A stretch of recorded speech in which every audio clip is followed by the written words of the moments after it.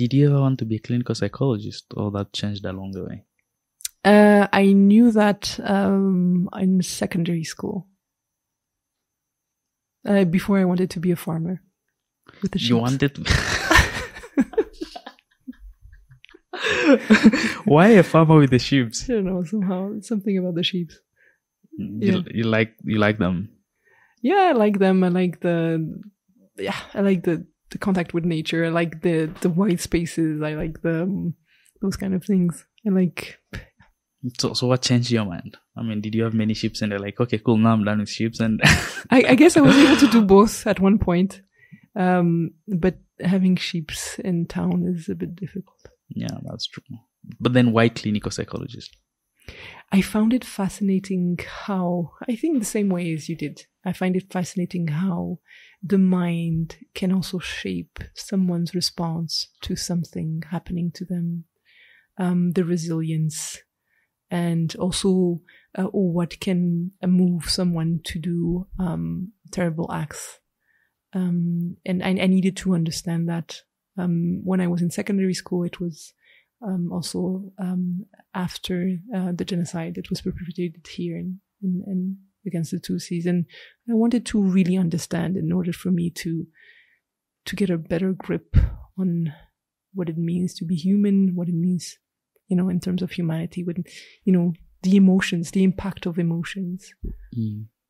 I think emotions have a very, very important role in our lives. It can be um, ferment. Uh, in French, they say ferment, but ferment, but um, um, um, you know the ingredient that you can put in bread so that it rises, Mm. um, or in yogurt so that it it, it gels. yeah. Um, isn't that it was It's yeast. yeast? yes, Yeah, yes. yeah, yeah. Yeast. It it can be. I think emotions are really important yeasts component of someone's um, life and strength and um, energy and all of that. I think it's very very key, more than knowledge. Um, and um, I, I've always been interested in. I think this is where also I, I joined the studies. Is like what are, what are the yeasts that you give your children at the very beginning, so that you know uh, their bread rises as they grow up.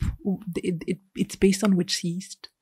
Um, is it based on courage, love, uh, hopefulness, uh, uh, wonder uh, of what the world has to offer, or is it based on something else? Whatever it is, it's going to to make the bread rise in a certain way. And those are really intense questions for a secondary school kid. Mm. Why were you thinking those questions during that time? I mean, is there anything that made you start thinking about them? Mm.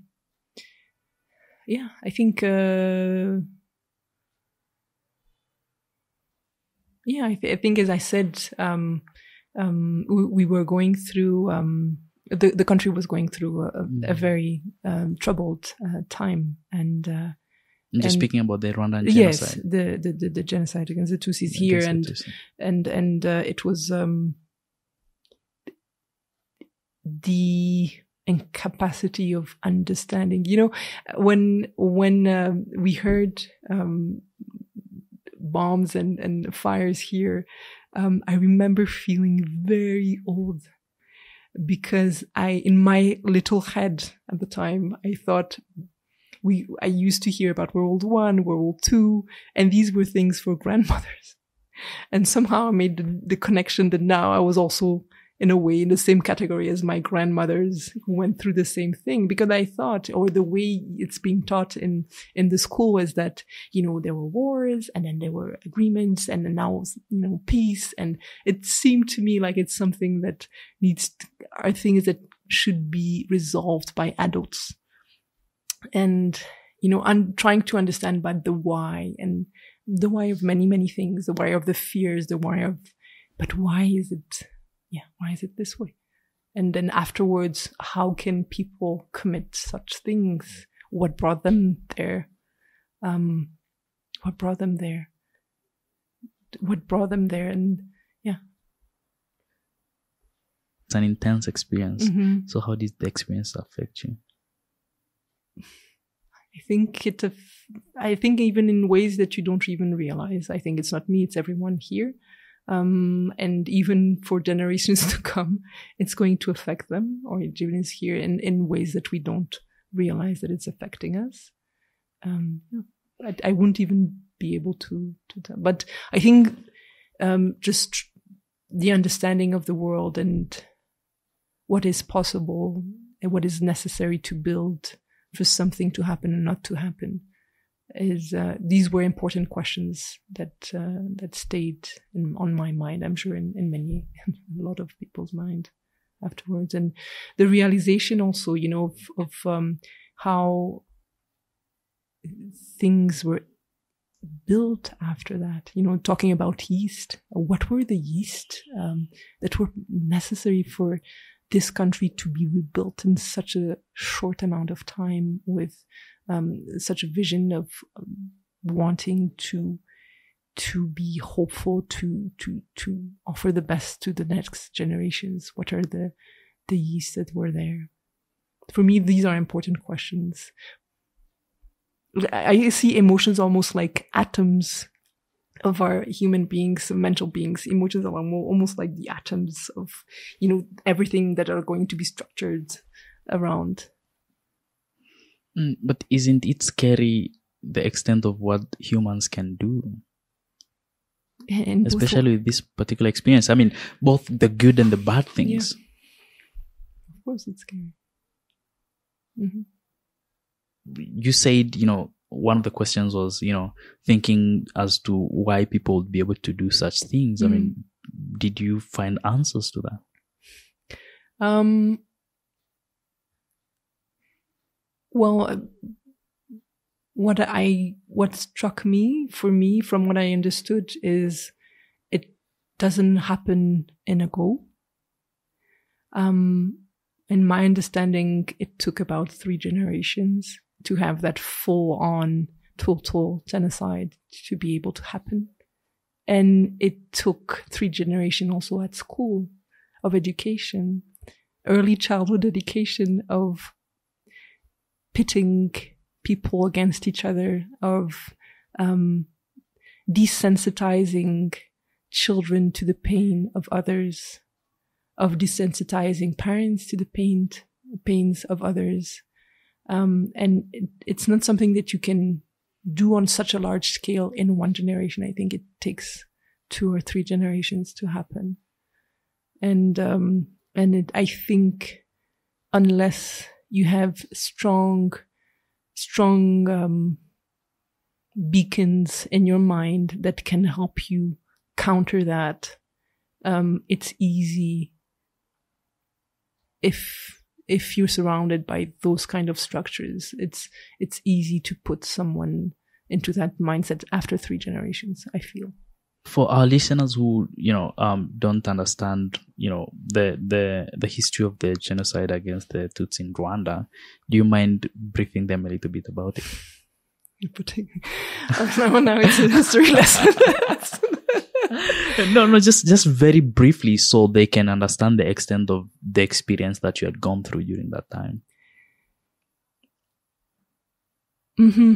So in 1994, uh, from April um, for 100 days, we had um, the, the, the onset of um, of uh, a genocide that uh, would claim over a million lives of people in a hundred days, and um, just based on the um, what they call the ethnicity of of of of, of the people, um, an, an ethnicity that was um, that was fixed uh, during the colonial times based on ideology of the colonial uh, structures at the time. And um, so I think also one of the particularity here in Rwanda is, um, as opposed to other genocides, is that it was stopped by other Rwandans it wasn't stopped by foreign powers. Actually, the foreign powers left uh, people to their own um, fatal destinies when they had the chance to do something about it. The UN was here and they left. So that, of course, was not what I'm saying about the three generation. That was something that was extremely well prepared. People had lists of names of people that needed to be killed, um, down to the, the children. Um, people knew where to um, put barrage, uh, blockades. People had been um, furnished with um, weapons.